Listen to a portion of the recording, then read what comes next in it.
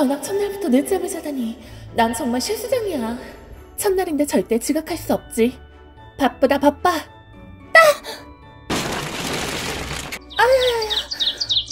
나 참, 너 뭐냐? 모퉁이에서 튀어나오고 미안 미안. 정말 미안해.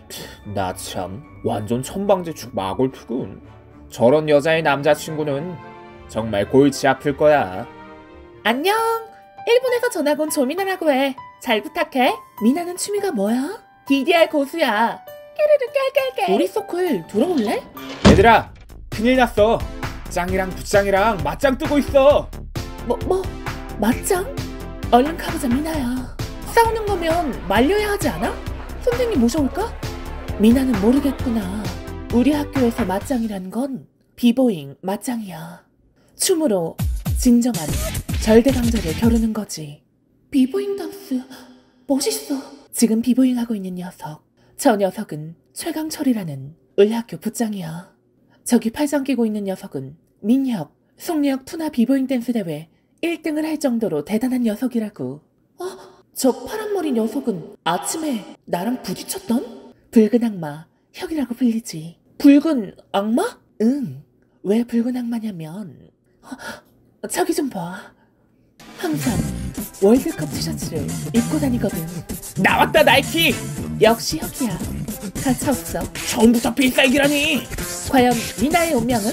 다음 화에 계속 다음 화에도 봐줄 거지? 안 보면 TV한테나 뽀셔버린다. 미래의 오렌지족 녀석들 복도에 모여서 뭐 하는 거냐? 승부는 다음으로 미뤄야겠다. 최강철. 쳇, 운 좋았군 민혁. 오늘 맞짱은 무승부다. 야 거기 분홍돼지.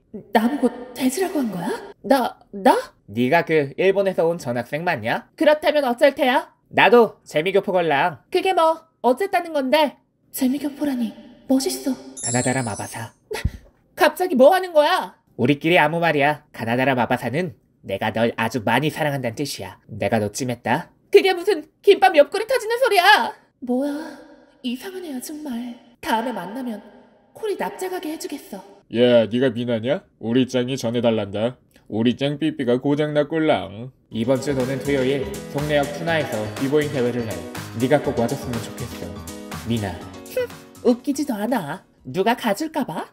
저것 좀봐 저 남자 정말 멋있다 와 너무 잘 어울린다 어우 멋있어 어우 뿅가 야, 여잔지 남잔지 모르겠다. 어쭈 귀걸이까지 했어? 그럼 어때 난 좋기만 하더라 괜히 샘나니까 흥흥흥 네.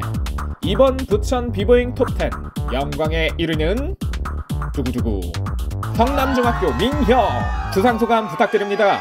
가나다라 마바사. 저기 무슨 말이야? 가나다라 마바사? 다음 화에 계속. 과연 미나의 운명은? 너는 나의 손을 세상을 저편 어둠을 밝히는 괴성 yeah.